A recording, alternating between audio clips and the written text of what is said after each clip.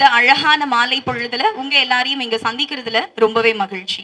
Radaan media works நிறுவனத்தோட தயாரிப்புல உதிரி பூக்கள் பிரியமானவள் போன்ற பல சூப்பர் ஹிட் தொடர்களோட இயக்குனர் திரு இ. விக்ரமாதித்தன் அவர்களோட இயக்கத்துல டிடி தமிழ் தொலைக்காட்சியில நூத்தி ஐம்பது எபிசோட்ஸ் கடந்து வெற்றிகரமா ஒளிபரப்பாயிட்டு இருக்கக்கூடிய மெகா தொடர் தான் தாயம்மா குடும்பத்தார். நம்ம தமிழ் ரசிகர்களை பொறுத்த வரைக்கும் எந்த அளவுக்கு தமிழ் படங்களை கொண்டாடுறாங்களோ எந்த அளவுக்கு நல்ல நல்ல படங்களை சப்போர்ட் பண்றாங்களோ அதே அளவுக்கு மெகா தொடர்களையும் அவங்க வந்து சப்போர்ட் பண்ண தவறுறதே இல்லை. அதே அளவு அப்படின்னு சொல்றதை தாண்டி அதை விட ஒரு படி மேல சப்போர்ட் பண்றாங்க அப்படின்னு தான் சொல்லணும். ஏன்னா தினம் தினம் அவங்க தொலைக்காட்சிகள்ல தொடர்களை பார்க்க பார்க்க நம்மளோட குடும்பத்துல ஒரு அங்கமா அதில் நடிக்கிறவங்களை வந்து கொண்டாட ஆரம்பிச்சிடுறாங்க.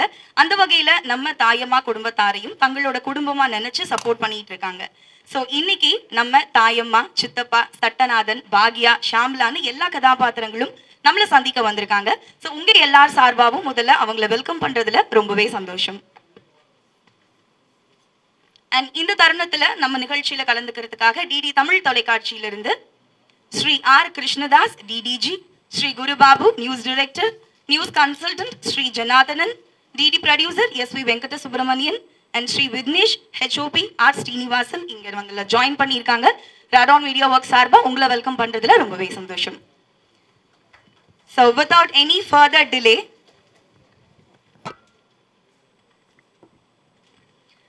நம்ம நிகழ்ச்சியை தொடங்கிடலாம். ஸோ தமிழ் சினிமாவில் பெரும்பாலான நடிகைகளோட திரை பயணம் வந்து செடியில் பூக்கிற பூ மாதிரி இருக்கும். இன்னைக்கு பூக்கும் வெகு சில நாட்கள்ல உதிர்ந்துரும். ஆனா இவங்க வெள்ளி திரையில உதைக்கப்பட்டு அதே வெள்ளி திரையில ஆலமரமா வளர்ந்து சின்ன திரைக்கும் சேர்ந்து தரக்கூடியவங்க. எஸ் அவர் ஆல் டைம் ஃபேவரட் நடிகை ராதிகா அவர்களை ஒரு சில வார்த்தைகள் பேசுமாறு அன்போடு கேட்டுக்கொள்கிறேன்.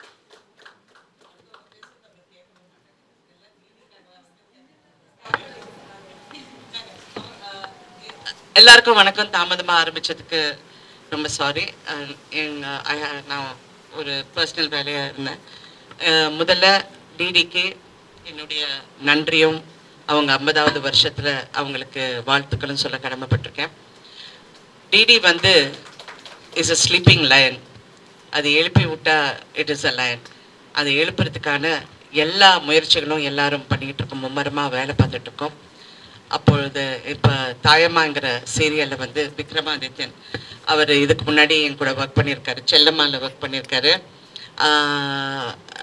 என்னுடைய ஆஸ்தான ரைட்டர் வந்து குமரேசன் நிறைய ராணி ராணி இது போன்ற வெற்றி வேற என்ன செல்வி செ இல்லை ஆ ரைட் வாணி ராணி எல்லாமே நிறைய ஒர்க் பண்ணியிருக்காரு. அப்புறம் டைலாக் ரைட்டர் கெனடி அவர்கள் இருக்காரு. இங்கே அவங்க ராணின்னு நாங்கள் கூப்பிடுவோம். ராணி தானே?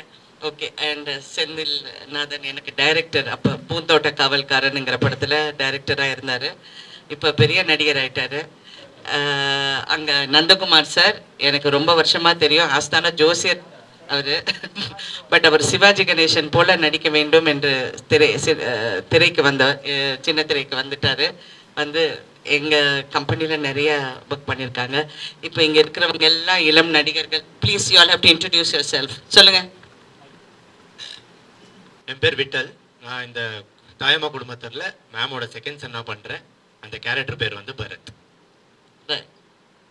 பிரபா. என் பேர் கேமராமேன். ம் சொல்லுங்கள் இந்த ப்ராஜெக்டோட டிஓபி ஒர்க் பண்ணுறேன் தேங்க்யூ டிஓபியாக ஒர்க் பண்ணிட்டு இருக்கீங்க ரைட் வாய்க்குள்ளேயே பேசாதீங்க. ரைட் நான் தாய்மா குடும்பத்தார்ல கௌரி அம்மாவோட கடைக்குட்டி கடைசி பொண்ணா நடிக்கிறேன்.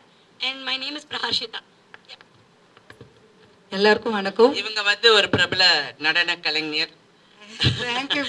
இன்னும் செட்டுக்குள்ள வந்து டைலாக்கே வந்து நடனம் ஆடிக்கிட்டு தான் பேசுவாங்க. சொல்லுங்க தேங்க்யூ மேம் என் பேர் ரேகா. தாய்மா குடும்பத்தாரில் நான் வந்து பாக்கியம் கேரக்டர் பண்ணுறேன் அதுக்கு நான் பாக்கியம் பண்ணியிருக்கேன். மேம் கூட நடிக்கிறதுக்கு நிறைய ஆப்பர்ச்சுனிட்டிஸுக்காக எத்தனையோ பேர் வெயிட் பண்ணுற இடத்துல கடவுள் வந்து கடவுள் வந்து எனக்கு இந்த வாய்ப்பு கொடுத்துருக்காங்க. இந்த மேடையில் நான் நிற்கிறதுக்கு குமரேசன் சாரும் ஒரு காரணம். அப்புறம் ஃபர்ஸ்ட் சீனுக்கு வந்து மோகன் சார் தான் எனக்கு ரொம்ப ஹெல்ப் பண்ணது. இவங்க வந்து நின்னாவே கை கால்லாம் எனக்கு நடுங்கும்.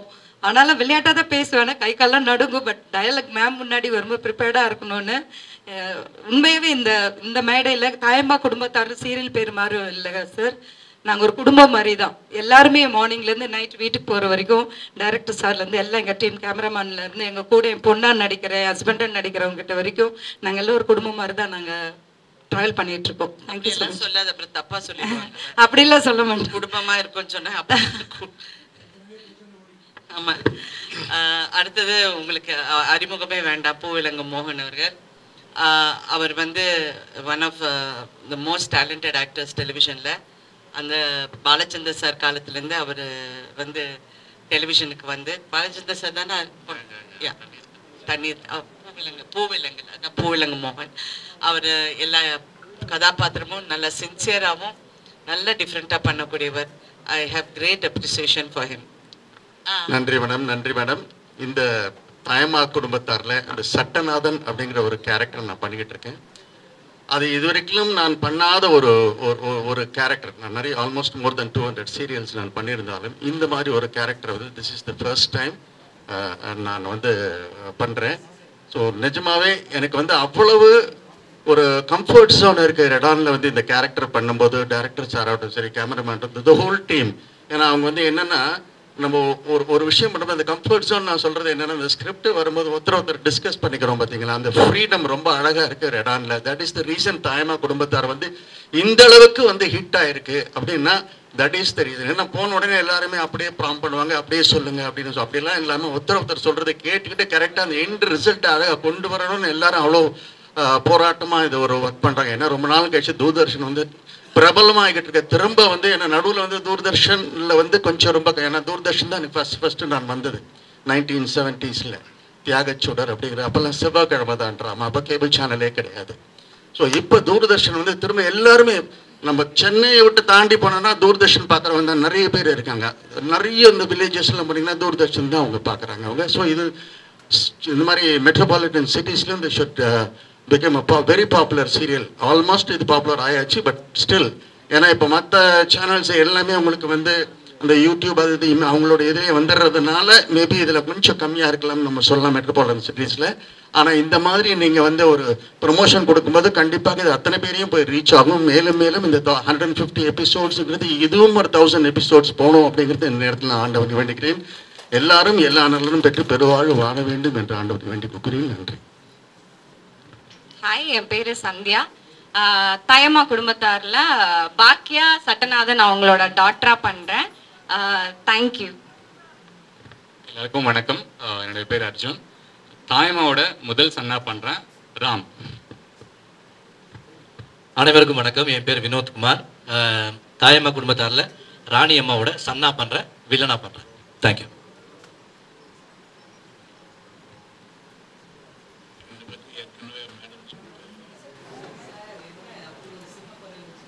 சாதாரணமாக அவங்க கூட நடிக்கிறதுக்கே பயப்படும் இப்போ நீங்கள் அவங்கள வச்சுக்கிட்டு பேசுனா நான் என்ன பேசுறதுன்னு புரியல.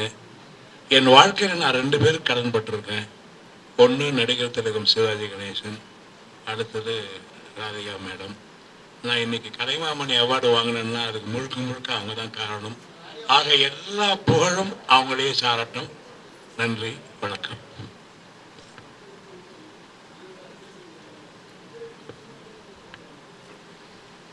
மேடம் வந்து ஒரு பெரிய லெஜண்ட்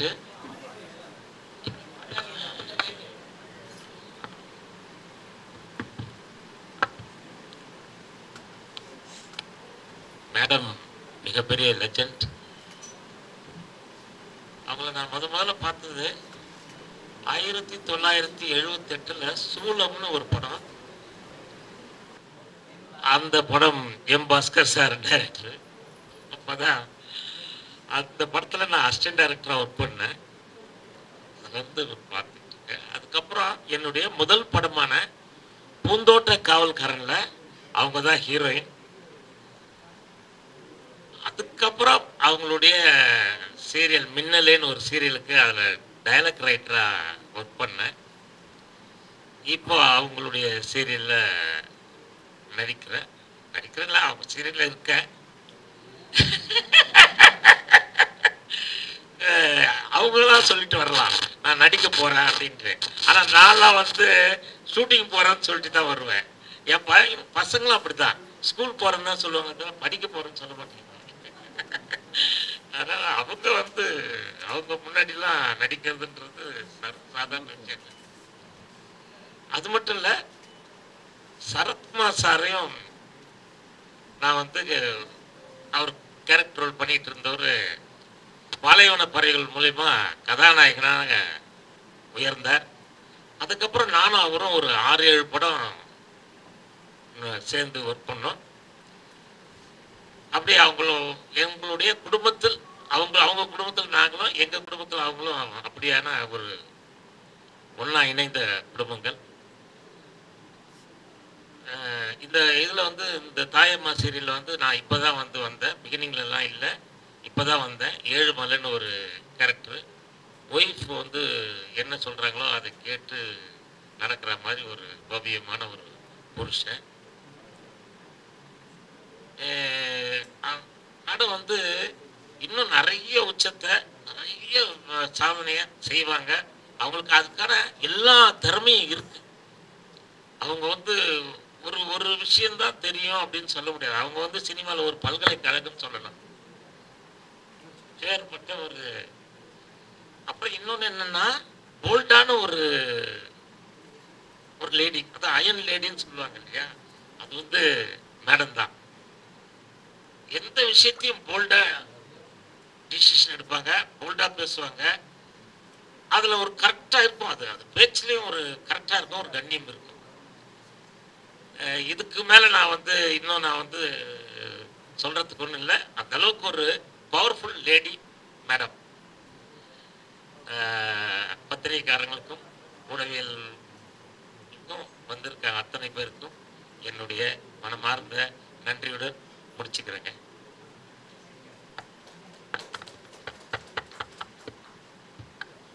எல்லாருக்கும் வணக்கம். மேடம் பத்தி நான் தனியா சொல்ல தேவையில்ல. உங்களை விட எனக்கு அதிகமா தெரியாது கூட. இருந்தாலும் மேடம் கிரியேட் பண்ண இந்த ரெடான் பத்தி நான் சொல்ல விரும்புறேன். டுவெண்ட்டி டூ இயர்ஸா இந்த ரெடான்ல நான் ஒர்க் பண்ணிட்டு இருக்கேன். அதை நான் பெருமையாகவே சொல்லிக்கிறேன். மேடம் எனக்கு தெலுங்கு ப்ராஜெக்ட்ஸ் கொடுத்தாங்க தமிழ் ப்ராஜெக்ட்ஸ் கொடுத்தாங்க. ஆஸ் ஏ பிகினரா வந்தப்பறம் அவங்க என்னை இன்வைட் பண்ணாங்க. ஆனா இன்னைக்கு ஸ்பெசிஃபிக்கா சொல்லணும்னா மேடம்க்கு அகேன்ஸ்டா அவங்க நாத்தனாரா நான் பண்ணிட்டு இருக்கேன் ஆக்சுவலா இந்த ரோல் மேடமோட நடிக்கிறது பெரிய விஷயம். அவங்களுக்கு ஆப்போசிட் ரோல்லாம் நடிக்கணும்னா அப்போ அவங்க எவ்வளோ நல்ல ந- ஒரு பெரிய நடிகைன்னு எல்லாருக்கும் உலகத்துக்கே தெரியும். நம்ம இந்த இந்தியா மட்டும் இல்லை ஆல் ஓவர் வேர்ல்டுக்கு தெரியும். அவங்களுக்கு ஈக்குவலாக நடிக்கிறேன் நடிக்கணும் நல்லா நடிக்கணும் நல்லா நடிக்கணும். மேடம் வந்து மேடம்க்கு அகேன்ஸ்டா நடிக்கிறப்ப நம்ம அட்லீஸ்ட் ஓரளவுக்காவது நடிக்கணும்னு நான் ரொம்ப ரொம்ப ரொம்ப ஃபீல் பண்ணி நடிப்பேன். இந்த ஆப்பர்ச்சுனிட்டி அவங்க எனக்கு கொடுத்ததுக்கு ரொம்ப ரொம்ப ரொம்ப நன்றி. இன்னொன்று முக்கியமாக சொல்லணும்னா ரேடன்ன்றது ஒரு பெரிய நிறுவனம். அது இத்தனை வருஷமா போயிட்டுருக்கு. தொடர்ந்து போயிட்டுருக்கு. சக்ஸஸ்ஃபுல்லாக போயிட்டுருக்கு.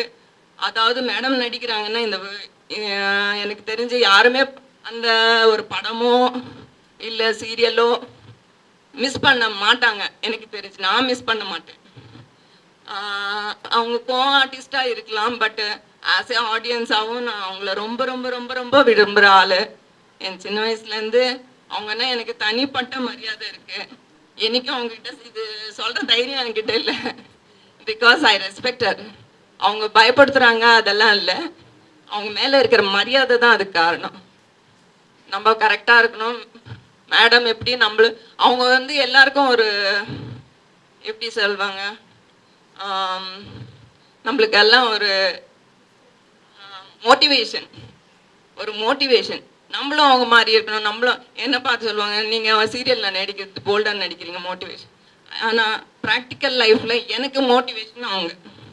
அதனால் அதுவும் இல்லாமல் இந்த ரடன் நிறுவத்தில் நடிக்கிற எவ்வளோ கம்ஃபர்ட்னா discipline first thing discipline safety எதாக இருந்தாலும் நம்ம மேடம் மேடம் இருக்காங்கன்ற தைரியத்தில் என்ன நம்ம கரெக்டாக இருந்துக்கலாம்.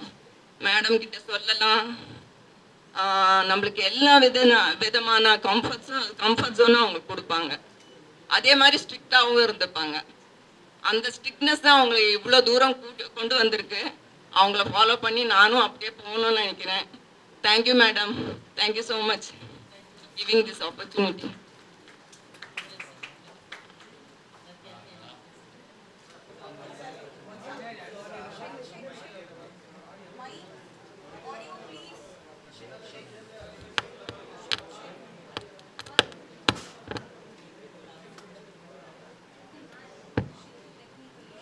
check check check check ready ready ready check check check ready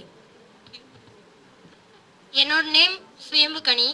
நான் அசிஸ்டன்ட் டைரக்டராக ஒர்க் பண்ணுறேன் தாயம்மா குடும்பத்தார். சீரியலில் DD Doordarshan.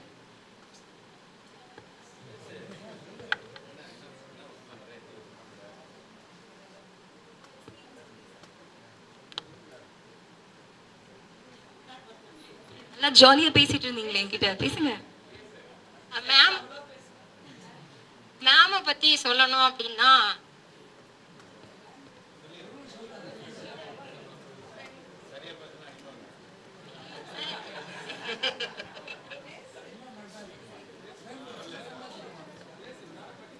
really I am so happy to work with ma'am அவ்வளவுதான். ஒரு ஒரு வேர்ட்ஸ்ல சொல்லணும்னா இது மட்டும்தான். தேங்க்யூ தேங்க்யூ தேங்க்யூ அனைவருக்கும் வணக்கம். என் பேர் விக்ரமாதித்தன். இந்த சீரியலோட இயக்குனர். ஆஹ், என்னை செலக்ட் பண்ணது மேடம். மேடத்தை முத முத பார்க்கறது பார்த்தது வந்து பதிமூணு வயசுல எட்டாவது படிக்கும்போது பார்த்துருக்கேன்.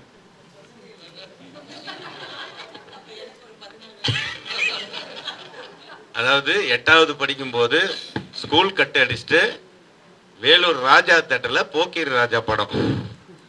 டிக்கெட் கிடைக்காம அடித்து பிடிச்சி லேட்டாக போய் டோர் தந்த சினிமா ஸ்கோப்பு பிரம்மாண்டமாக தெரியுது சாங்கு இவங்க டான்ஸ் ஆடிட்டு இருக்காங்க. அப்போ பார்த்தது தான் ஃபஸ்ட்டு அவங்கள பார்த்தது. அதுக்கப்புறம் செல்லம்மா செல்லம்மா அப்படின்ற தொடர் இயக்கிற வாய்ப்பு கிடைச்சது. உண்மையாகவே என்னன்னா அவங்கக்கிட்ட வந்து ஒரு ரெண்டு விஷயம் நான் கற்றுக்கிட்டேன் டைரக்ஷன்றது சீரியலில் வந்து பெரிய விஷயம் கிடையாது உண்மையாகவே இருக்கிற சீனை கரெக்டாக எடுத்து கொடுத்தாலே போதும். கரெக்டான ஆர்டிஸ்ட்டுக்கிட்ட பர்மாஸ் பர்ஃபார்மன்ஸ் வாங்கணும் அதெல்லாம் இருக்குது என்னன்னா எல்லாருமே ஸ்க்ரீன் ப்ளே பற்றி பேசுவாங்க. இவங்க சீன் ப்ளே பற்றி பேசுவாங்க. ஒவ்வொரு சீன்லேயும் ப்ளே இருக்கணும்னுவாங்க. அது ரொம்ப இம்ப்ரெஸ் ஆச்சு. இப்போ முதல்ல வந்தப்போ எனக்கு அப்போ தான் ஓ கரெக்ட் அப்படின்னு தோணுச்சு. ஒவ்வொரு ஒவ்வொரு டைலாக்கையும் ஷார்ப்பாக இருக்கணும். அது ரொம்ப முக்கியம். ஒரு சீன் மிஸ் ஆனாலே நம்ம ட்ராக் ஆகிடும் அந்த மாதிரி விஷயம்லாம் அவங்ககிட்ட கற்றுக்கிட்டேன் அதே மாதிரி எந்த அவங்க பாராட்டுறதும் சரி. நல்லா இருந்துச்சுன்னா பாராட்டுவாங்க. அந்த பெருந்தன்மை அவங்களுக்கு நிறைய இருக்குது நான் நிறையத்த ஒர்க் பண்ணியிருக்கேன் வெளிப்படையே பேச மாட்டாங்க சொல்ல மாட்டாங்க. அவங்ககிட்ட பாராட்டு வாங்குறது வந்து ஒரு யூனிவர்சிட்டியில் டாக்டர் பட்டம் வாங்குற மாதிரி தான். என்னை பொறுத்த வரைக்கும். நிஜமாக சொல்கிறேன் ஏன்னா அவங்களுக்கு தெரியாத விஷயங்களே தெரியாது. நம்ம இதை சொல்லுவோம். மேடம் நீங்கள் வந்து இப்படி வர தெரியும் தெரியும் போ அப்படின்றவாங்க. ஏன்னா எந்த விஷயத்த சொன்னாலும் ஓகே. அப்போ நமக்கு வேலை செய்கிறது ரொம்ப ஈஸியாக இருக்கும். ஒரு டைலாக் ஒரு வாட்டி படிச்சு காட்டு வந்தாலே போதும். ஒரே டெக் தான். பத்து நிமிஷம் போகுது. பத்து நிமிஷம் போகும். அசால்ட்டாக நடிச்சுட்டு போயிட்டே இருப்பாங்க. அது மிகப்பெரிய இந்த இந்த மாதிரி திறமைசாலி அதாவது அதான் பொம்பளை சிவாஜி அப்புறம் லேடி சூப்பர் ஸ்டார் எல்லாமே பட்டம் அவங்களுக்கு தான் கொடுக்க கொடுத்துருக்காங்க. முதல்ல ஆல்ரெடி கொடுத்துருந்தாங்க. இப்போ அது கண்டினியூ ஆகுது.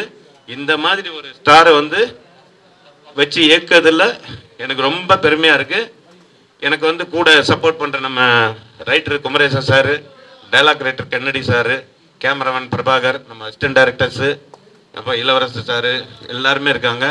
இதுக்கு முன்னாடி வந்து ஒர்க் பண்ணவங்க சுபா அப்புறம் சுகுமாரன் இவங்க எல்லாமே இருந்தாங்க அதில்.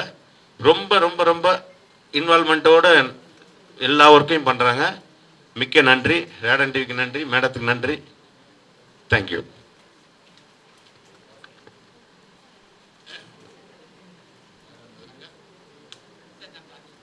அனைவருக்கும் வணக்கம். என் பேர் பாபா கென்னடி. இது வசனம் எழுதுறதுக்கு. மேடம் வந்து சித்தி சீரியல் பண்ணும்போது நான் நூன் டைமில் அம்மா சீரியல் பண்ணேன். இது ரெண்டாயிரத்தில். அவங்களுக்கு வசனம் எழுதுகிற பாக்கியம் வந்து இருபத்தி நாலு வருஷம் கழிச்சு எனக்கு கிடச்சிருக்கு. முத முதல்ல குமரசன் சார் வந்து இந்த தாயம்மா கதையை சொல்லும் போது அவருக்கு அஸ்டண்ட்டாக தான் ஆரம்பித்தோம் ஸ்க்ரீன் பிளேவில் ரொம்ப பிரம்மாண்டமாக இருக்குது சார் அந்த கதை சூப்பராக இருக்குது சார் அப்படின்னு சொல்லிட்டு அவருக்கு அஸ்டண்ட்டாக ஒர்க் பண்ணேன். அப்புறம் ரெண்டு ஷெட்யூல் கடிச்சு நீயே டைலாக் எழுது அப்படின்னு சொன்னார். இந்த வேலை அவர் தான் கொடுத்தாரு. அப்புறம் டைலாக் எழுத ஆரம்பிக்கும் போது மேடம் வந்து ஒரு நாள் ஷூட்டிங் ஸ்பாட்டில் பார்க்கணும்னு கூப்பிட்றாங்கன்னு போய் பார்த்தேன் அவங்க ஒன்றே ஒன்று தான் சொன்னாங்க. அப்போ முப்பது எபிசோடு டெலிகாஸ்ட் ஆகிட்டு இருக்கு. டைலாக்காக எழுதாதீங்க. எதிர்க்க ஒருத்தரை உட்கார வச்சுக்கிட்டு அவர்கிட்ட பேசுகிற மாதிரி எழுதுங்கன்னு சொன்னாங்க. இது வரைக்கும் இருபத்தி நாலு வருஷத்தில் எனக்கு யாரும் அந்த மாதிரி சொன்னதே கிடையாது.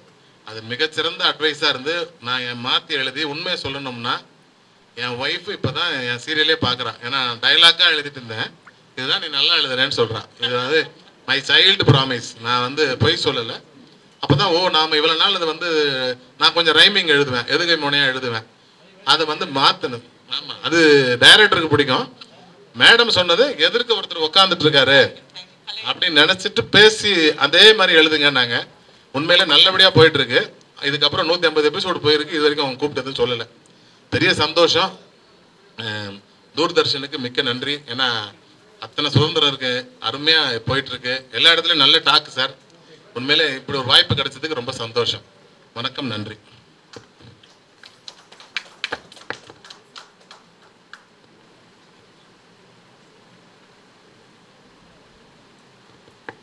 அனைவருக்கும் வணக்கம். என் பேர் குமரேஷன் இதில் வந்து நான் அந்த கதை திரைக்கதை எல்லாம் பண்ணிகிட்ருக்கேன் இப்போ எனக்கு என்னென்னா ஒரு இருபது வருஷமாக நான் ரடானில் ஒர்க் பண்ணிகிட்ருக்கேன் இருக்கேன் என்னுடைய முதல் சீரியல் வந்து தெலுங்கு சீரியல் வந்து தள்ளி பிரேமா அப்படின்னு வந்து ஆரம்பிச்சது. அதான் எனக்கு அவங்க கொடுத்த முதல் வாய்ப்பு. அதில் நிரோசா மேடம் நடித்தாங்க அப்புறம் தொடர்ந்து தெலுங்கு கன்னடம்னு நிறைய சீரியல்ஸ் ரெடானில் பண்ணிகிட்டே இருந்தேன். ஆனால் எனக்கு ஒரு சின்ன ஏக்கம் இருக்கும். மேடத்துக்கு எப்போ எழுதுறது அப்படின்னா.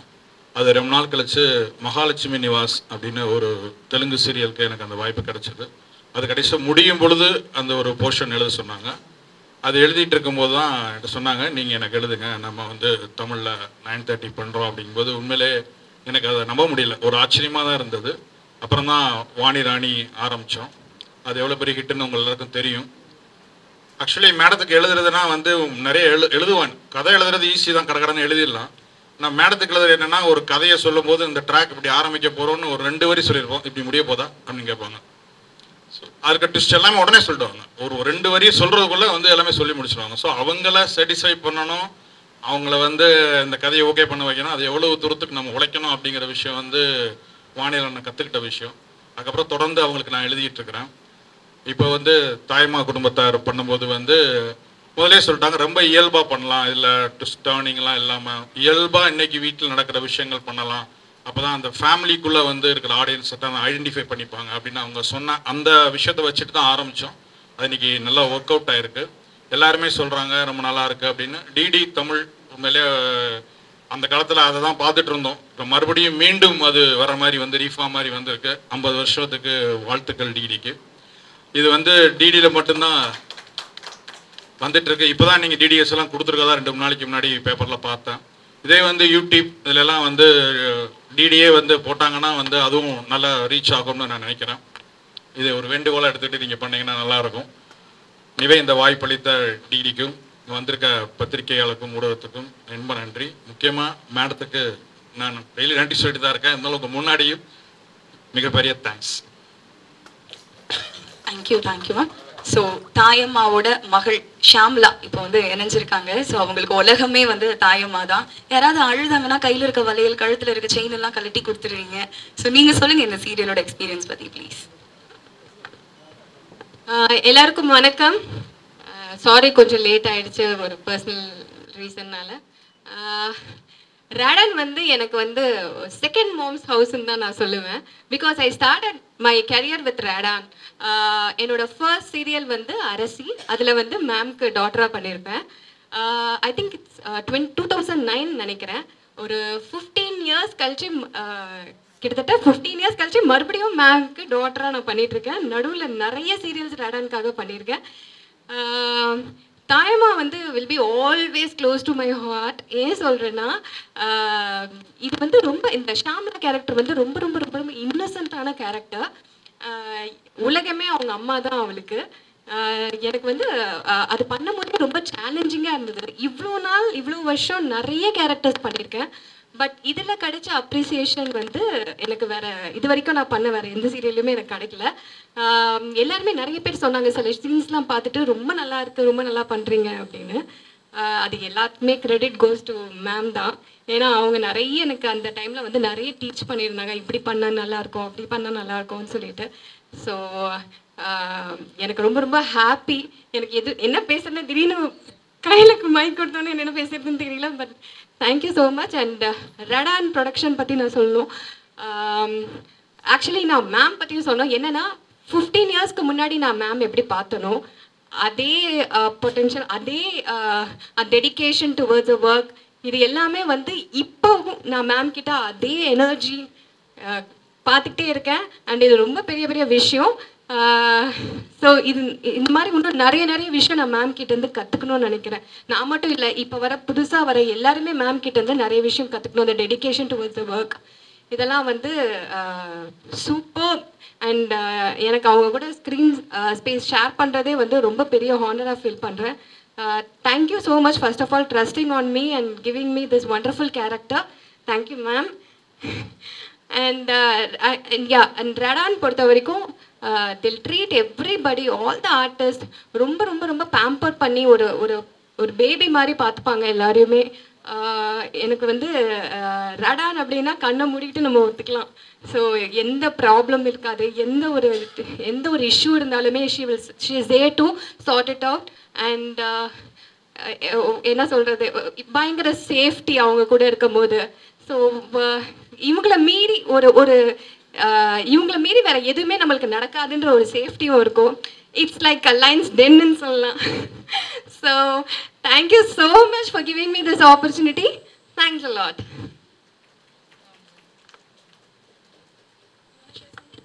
so just point that I want to add அக்கா சொன்ன மாதிரி நானுமே சின்ன வயசுலேருந்து ரடானில் வளர்ந்த ஒரு பொண்ணு தான் செல்வி ஆகட்டும் அரசி ஆகட்டும். அதுலேயும் இவங்களுக்கே பொண்ணாக நான் நடித்தேன் மேம்க்கும் வேணு சாருக்கும் ஸோ அந்த ஒரு பாக்கியம் திருப்பி ஒரு ரீபர்த் மாதிரி சிக்ஸ்டீன் இயர்ஸ்க்கு அப்புறம் எனக்கு கிடச்சிருக்கு. So this is such an honour பெரிய பிளெஸ்ஸிங் எனக்கு. அதே மாதிரி இந்த ஒர்க் பிளேஸில் வந்து இருக்கிற அந்த ஒரு கம்ஃபர்ட் ரடானில் கொடுக்குறாங்க. அது வந்து ரொம்ப ஹாப்பியாக இருக்குது இப்போ இப்போ நடக்கிற பிரச்சனைகள்லாம் நம்ம பார்த்துட்டு இருக்கோம் எல்லா சினிமா இண்டஸ்ட்ரியிலையும் அந்த வகையில் வந்து we are kept very safe and it is an amazing work பிளேஸ்னு சொல் thank you so much so Thayamma குடும்பத்தார் மொத்த பேரையும் இந்த மேடையில் ஒரு சேர பார்க்கறதுக்கு ரொம்பவே சந்தோஷமா இருக்கு. நம்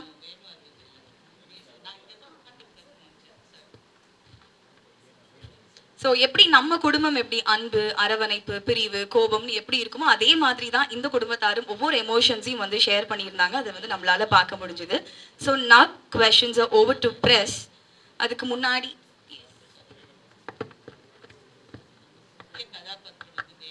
அண்ட் uh, தாய்மா குடும்பத்தாரில் ராதிகா மேடம் வந்து எந்த அளவுக்கு ஒரு powerful character she is the pivot role அப்படின்னு நம்ம சொல்கிறோம் இல்லைங்களா? அந்த பிவட் ரோலுக்கு சப்போர்ட்டிவாக இருக்கிறது வந்து வேணு அரவிந்த். வேணு அரவிந்த் அஃப்கோர்ஸ் இன்றைக்கி வந்து அவர் வர முடியாத ஒரு சூழ்நிலையில் இருக்கனால வரல. அவர் வந்து கண்டிப்பாக எல்லாரையும் வந்து பார்க்கணும்னு நினச்சார் but I could not come here but அந்த கேரக்டரை பண்ணுறது அவ்வளவு கஷ்டம். வேணு அரவிந்த் வந்து ரெடானில் வந்து அவ்வளோ ப்ராஜெக்ட்ஸ் ஒர்க் பண்ணியிருக்காரு. அண்ட் அவரும் நம்ம தூர்தர்ஷனில் தான் ஃபஸ்ட்டு ஃபஸ்ட்டு அவருடைய லைஃப் ஸ்டார்ட் பண்ண நாங்களாம் ஒன்றா ஸ்டார்ட் பண்ண லைஃப் அது அப்போது தூர்தர்ஷனில் தான் அவர் ஃபஸ்ட் ஃபஸ்ட் அவருடைய லைஃப்பும் ஸ்டார்ட் ஆனது.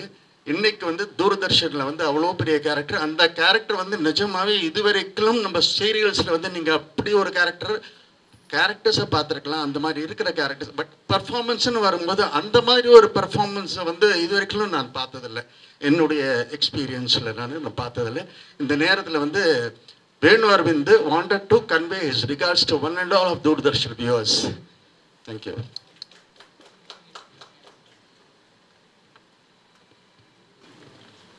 Venu sir character வந்து முன்னாடி நான் கதை பேசும்போது வேறு மாதிரி பேசிகிட்டு இருந்தோம். வேணு சார் தான் பண்ணணும். அவருக்கு கொஞ்சம் உடல் ரீதியாக கொஞ்சம் ப்ராப்ளம் இருந்துச்சு. அதுக்கு ஏற்ற மாதிரி அந்த கேரக்டர் நாங்கள் டிசைன் பண்ணோம். அவர் வீல் சேரில் தான் இருப்பார். அவர் வந்து அந்த மாதிரியான விஷயங்கள் தான் அதுக்கேற்ற மாதிரி ஃப்ளாஷ்பேக் எல்லாமே வந்து பண்ணி அவரை வந்து நம்ம வந்து நடிக்க வச்சோம். அந்த கேரக்டராக பார்த்தீங்கன்னா வந்து அவர் வந்து அவரால் அந்த சப்போஸ் நம்ம சொல்லணும்னா அந்த அந்த மாதிரி வீல் சேரில் இருக்கவங்க அந்த மாதிரி இருக்கிறவங்களாம் வந்து நம்ம வந்து அவங்களுக்கு வந்து பார்த்தீங்கன்னா கோவம் வந்துட்டே இருக்கும். டோட்டலாகவே வந்து எதுக்கு எடுத்தாலும் கோவம் வரும். ஏன்னா அவங்களாம் ஒரு இயலாமையை வந்து கோவமாக வெளிப்படுத்துவார். அதை வந்து அவர்கிட்ட சொல்ல அவர் அந்த கோபத்தை வெளிப்படுத்தும் போது அவங்க அவரை எப்படி அரவணைச்சு போகிறாங்க தாயம்மா அப்படிங்கிற மாதிரி அவங்களுடைய ஒய்ஃப் கேரக்டரை வந்து டிசைன் பண்ணோம். அந்த காம்பினேஷன் வந்து இன்னைக்கு கரெக்டாக ஒர்க்காக இருக்குது ஸ்க்ரீனில் பார்க்கும்போது வந்து ரொம்ப நமக்கே ஆச்சரியமாக இருக்கும். ரெண்டு பேரும் அவ்வளோ இதாக வந்து ரெண்டு பேரும் போட்டி போட்டு நடிச்சிருப்பாங்க. எழுதி டைரக்ட் பண்ணி அதை தாண்டி அதை பார்க்கும்போது எங்களை நாங்கள் அடிக்கடி அதை பற்றி பேசிகிட்டு இருப்போம். ஸோ நம்ம நினைக்கல ஃபஸ்ட்டு இந்த மாதிரி இந்த கேரக்டரை கொண்டு வரணும்னு. அது மேடத்தோட ஐடியாவில் தான் அதை வந்து ஃபஸ்ட்டு பண்ணோம். அதுக்கப்புறம் இது நல்லா ஒர்க் அவுட் ஆயிருக்கு. சார் இன்னைக்கு வரல பட் எல்லாம் நாங்கள் ஒரு மிஸ் பண்ணுறோம் டிடி அவங்க எங்களுக்காக வந்திருக்காங்க. முதல்ல அவங்களுக்கு நன்றி சொல்லுவோம். அண்ட் uh, நான் மறுபடியும் சொல்கிறேன் இது வந்து ஒரு sleeping line we have woken up and அது மறுபடியும் இட் ஹேஸ் டு டூ கிரேட்டுங்கிறது என்னுடைய அபிமான வேண்டுகோள். அண்ட் இன்னும் ஜனங்களுக்கு ரீச் ஆகணும். அதாவது மீடியா டிஜிட்டல் டிஜிட்டல் ஏஜ் எல்லாமே மாறிக்கிட்டு வந்திருக்கு. That's why always keep it யூடியூப்ல போடுங்க அங்கே போடுங்க. Because lot of people more comfortable on that அது கம்ஃபர்ட் லெவல் வந்து நம்மளும் ஏற்படுத்தணும். See marketing is all about that so இன்னும் அது பிரபலப்படுத்த நீங்கள் வந்து இன்னும் அதுக்கு நம்ம எல்லாருமே ஒற்றுமையாக செயல்படணுங்கிறது என்னுடைய வேண்டுகோள். I am really happy to do this serial நான் ஃபர்ஸ்ட் சீரியல் நடிக்கக்கூடாதுன்னு இருந்தேன். பட் அவங்க ரொம்ப இன்சிஸ்ட் பண்ணி நான் பண்ணணும் அப்படின்னு சொன்னப்ப uh, நான் ஃபர்ஸ்ட் சொன்னேன். நீங்க என்ன ரஜினிகாந்த் நான் வந்து சூப்பர் ஸ்டார் அதெல்லாம் நீங்க சொல்லாதீங்க. நான் ஒரு பெண் அந்த பெண் வந்து ஒரு குடும்பத்துல எப்படி இருக்கணுமோ அந்த மாதிரி பண்ணுங்க. அப்படிங்கிறது மட்டும்தான் நான் இவருக்கு குமரேசன் அவர்களுக்கு சொன்னேன். அந்த பெண் வந்து இந்த சடனா ஒரு டைலாக் வரும். ஹீரோ டைலாக் மாதிரி வரும். யோ அந்த மாதிரி பேசுறவங்களே யாரும் பேச மாட்டேன்றாங்க. நான் வந்து சாதாரணமா பேசுறேன் அப்படின்னு சொல்லி நீங்க என்ன வந்து அந்த மாதிரி பண்ணாதீங்க. ஒரு குடும்பத்துல ஒரு பெண் எப்படி பேசுறாங்களோ அந்த மாதிரி வைங்கன்னு சொன்னேன். ஸோ அந்த மாதிரி இருக்க போகும்போது வேணு அரவிந்த் வந்து ரொம்ப உடல்நிலை சரியாமல் அவர் ஹாஸ்பிட்டலில் இருந்தார்.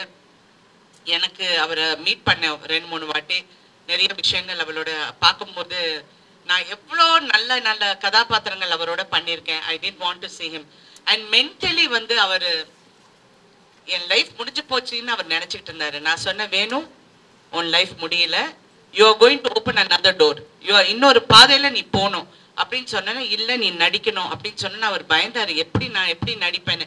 நீங்க செட்டுக்கு வாங்க. உங்களுக்கு எப்படி வேணுமோ நான் பண்றேன்னு சொல்லி. அப்புறம் அந்த க கதாபாத்திரத்தை உள்ள ஃபர்ஸ்ட் அந்த கதாபாத்திரம் அவ்வளோ இல்லை.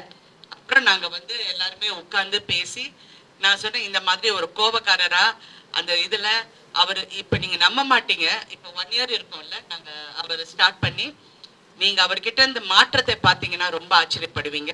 இஸ் அதனால எவ்ரி ஹியூமன் பீங் ஒரு ஒரு மனிதனையும் நம்ம தட்டி கொடுத்தா அந்த அந்த சப்போர்ட்டை கொடுத்தா எவ்வளோ அவங்களுக்கு எவ்வளோ சேஞ்சஸ் அவங்க லைஃப்ல வருங்கிறதுக்கு வேணு அரவிந்த் வந்து ஒரு எக்ஸாம்பிள் இன்னைக்கு அவர் அவ்வளோ ஹார்டாக ஒர்க் பண்ணி ஃபிசியோ பண்ணி அது பண்ணி இப்போ அவர்னால நடக்க முடியும். ஃபர்ஸ்ட் வீல் சேர்ல தான் இருந்தாரு இப்போ நடக்கிறாரு. So thank you very much இது அதுதான் சொல்ல வரேன்.